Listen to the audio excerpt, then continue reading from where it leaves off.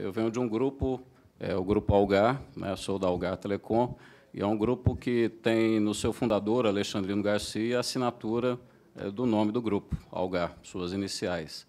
E é um grupo que, há mais de 80 anos, acredita é, no país, em específico na telecomunicação, há mais de 63 anos. Então, é, a gente está aqui, a gente é resiliente e a gente está batendo nos mesmos pontos porque a gente entende que os próximos 20, 60, 100 anos vão ser muito importantes para essa convergência dos astros aqui que foi dito aqui pelos colegas aqui, tá? É... Primeiro, fazer o reconhecimento aqui, que eu acho que é, é unânime, né? acho que todo mundo que, que vive no setor acompanhou nos últimos 20 anos a transformação que o setor é, foi corresponsável e responsável, e talvez num papel de protagonista, por transformar aí a sociedade brasileira. A gente saiu de um, de um, de um momento em que o telefone fixo era tudo, né? era bem declarável em imposto de renda, item de inventário, né? até objetos de negócios paralelos, e passamos para um mundo em que é, as perspectivas são potencialmente muito grandes. Um mundo muito mais conectado, um Brasil muito mais conectado, mais de 240 milhões de pessoas com acesso à telefonia móvel, 42 milhões de telefones é, fixos, né? e outras coisas aqui que remetem a gente para um mundo cada vez mais é, conectado, um mundo cada vez mais digital, que é essa questão da banda larga, a questão dos, dos aplicativos e tudo que está no envolto desse, desse ambiente. Porém, né, nós temos os desafios, e aqui eu traço é, é, três colunas aqui, bem sintetizadas aí, já foram faladas aí pelos colegas, a gente tem aí 33 milhões de domicílios desconectados, né, é, e apenas 12% com velocidades acima de 10 megabits por segundo. Menos de 40% das pequenas, médias e microempresas utilizando internet é, com, é, com assim, frequência nos seus negócios, e destes 40%, apenas um terço que utiliza de maneira muito avançada, de maneira muito competitiva, de maneira muito produtiva. Uma exigência cada vez maior de conectividade, e que tenha maior abrangência e maior velocidade, isso também foi muito bem explorado aqui e uma busca de tecnologia, sejam nas empresas, sejam nas pessoas, nas residências, cada vez mais do dia a dia, todo mundo quer. Eu costumo dizer que hoje, às vezes, a falta de energia só é sentida a hora que acaba a bateria, né? enfim, porque a bateria impulsiona a conexão e a conexão é que todos querem. Eu pude observar aqui, por ser o último, o quanto que nós estamos conectados nesse momento, em todos os momentos da, da apresentação. Bom, Aí vem a questão dos investimentos, né? como, que, como que viabiliza isso. Né? No momento, há um sério e, e profundo desequilíbrio né? entre os investimentos e a, os recursos recolhidos pelas empresas. Aquilo que alimenta realmente a motivação por mais e mais investimentos. É, digo isso não só pela questão financeira, econômica, que foi apontada aqui pelos colegas, mas também até por uma certa intranquilidade, insegurança é, que a LGT, o marco regulatório, ainda impõe sobre as empresas, porque temos aí cada vez mais, né, doutor Quadros, um tempo decrescente até 2025, que é, é até diga-se o contrário, o fim das, da, da, da, das concessões. Aí. Ah, foi falado aí na falta da destinação dos fundos setoriais, isso é visível, isso aí poderia, né, mas não vamos ficar olhando para o passado, chorando leite derramado, mas poderá resolver muita coisa. A questão dos tupes, eu acho que ela é emblemática, porque, sabe, eu acho que nós vivemos num país que nós não podemos nos dar o luxo de, de rasgar, queimar dinheiro. Verdadeiramente, isso é o que se, nós fazemos hoje. Esses 400, 500 milhões que foi mencionado aqui, é o que verdadeiramente a indústria faz todos os anos por manter uh, os TPs, porque está lá na lei e tem que manter, e se não mantiver de maneira bem adequada ainda gera pados e mais problemas aí para todos que operamos nessa questão. Tem aí os indicadores, que são indicadores que foram contemplados, foram vislumbrados para um momento de 20 anos atrás, e que, venhamos e convenhamos, é, é um pouco diferente daquilo que, seja as empresas, as, as pessoas querem hoje em dia. Né? E digo para vocês, custa muito, muito, muito para as operadoras. Há estruturas, sistemas, pessoas para cuidar de todos esses indicadores aí.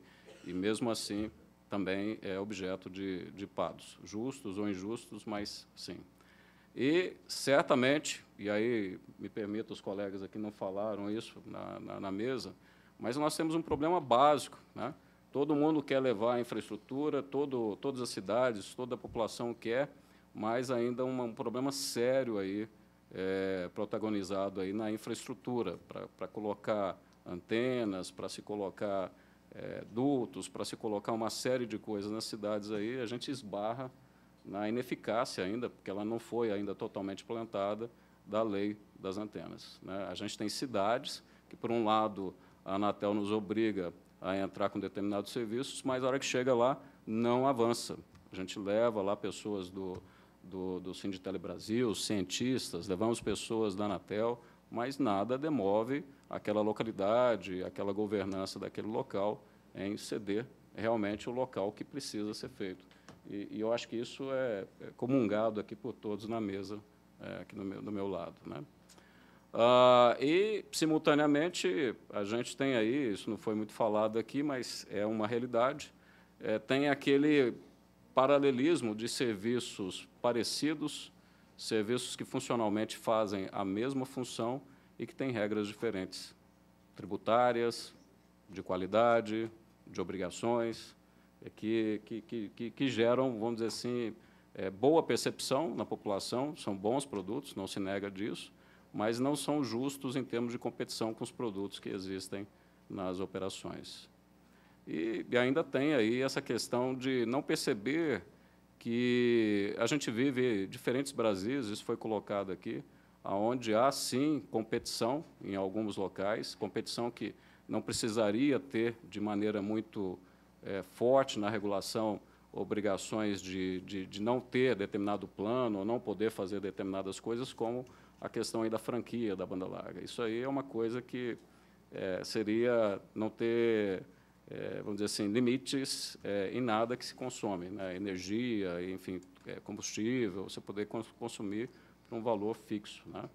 Então, eu acho que esses novos modelos aí precisam também é, ser percebidos aí como desafio do setor. Ah, e aí, eu acho que talvez a, a boa notícia, né, e certamente é uma boa notícia, é que, veja, são poucas coisas que estão sendo discutidas, já há bastante avanço nas discussões, já há bastante convergência nas discussões, e estamos falando aqui basicamente dos mesmos pontos que foram colocados, o, TAC, o PL 79, os TACs, a questão de uma regulação mais, mais eficaz, que, que fomente mais investimentos, e é, acrescento essa questão da lei das antenas aqui. Só um parênteses aqui no comentário que foi feito sobre a parte fiscal. Eu acho que é super interessante observar, e eu concordo com os colegas, a gente esteve presente também, que a gente foi lá brigar para não aumentar a carga tributária é, do setor. Mas eu acho que essa casa aqui, viu, doutor Carlos, deveria, e outras casas pelo Brasil deveriam brigar por reduzir porque acho que o Schroeder falou, nós temos aqui uma indústria que é transversal e que, de maneira direta, direta, impacta na produtividade das empresas, na produtividade das, das pessoas e das famílias. Né? Então, é uma coisa que, aí também pegando um pouco do que o Schroeder falou, a hora que compara, fala assim, não, que os, as, as, as maiores cargas tributárias, cerveja e telecom, é, nós estamos comparando coisas distintas. Né? Apesar de eu gostar muito da cervejinha no final de semana, é um item supérfluo. Nós estamos falando de, de telecomunicações que vai na base da produtividade das empresas, da produtividade das famílias e, por conseguinte, na produtividade do país. Né? E aí, eu encerro com esse slide aqui, que ele tenta sumarizar um pouco do que, que nós esperamos, né, que eu acho que é um comunga aqui todo o setor, para os próximos 20 anos. Será legal demais se a gente, não nós, né, mas algumas pessoas que depois da gente chegar em 2037, e fala, olha, aqueles outros astros lá, eles pegaram uma coisa e fizeram, assim, é, fizeram de alguma maneira uma convergência para gerar um país mais competitivo, um país que cresceu mais, um país que gerou desenvolvimento sustentável, um país que incluiu o digital, né? porque fala-se muito em inclusões aí outras, mas se não incluir o digital, nós vamos ficar muito para trás. E que gerou empregos e trabalho, não estou falando só emprego, mas trabalho, que é ocupação. Né? Para isso, né, esta convergência aqui tem que trabalhar essa questão das cidades digitais, cidades amigas da banda larga, para favorecer a instalação de infraestrutura empresas digitais que permitam, né, que sejam permitidas e que tenham mais condições de usar é, dispositivos, tecnologias mais eficientes e competitivas e que as torne mais eficientes e competitivas, e pessoas mais conectadas, informadas e, por conseguinte, produtivas. A base disso tudo está em conectividade. Nós estivemos no início deste ano em um congresso fora do Brasil, em que a palavra, a frase que mais foi dita lá é que conectividade não é sexy, mas é essencial. Se não tiver indústria 4.0, digital, esqueça, né? não vai acontecer. Precisa ter isso em abundância, em alta velocidade e em preços competitivos. Isso vai fomentar aí certamente outros ecossistemas digitais e aí começam essas coisas todas aí, IoT, tem um, um, uma política nacional sendo desenvolvida, isso é muito louvável e necessário.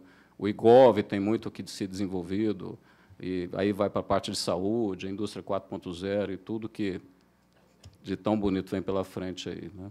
E, certamente, uma sustentabilidade, porque quem está por trás disso aí, e eu também concordo que o modelo tem que ser privado, não há que se falar em concessão, o mundo tem dito isso para a gente, tem mostrado isso aí, precisa ter motivação que se traduza aí numa geração de valor é, minimamente compatível com o risco é, que estamos falando aí em decorrência da complexidade dos montantes aí envolvidos.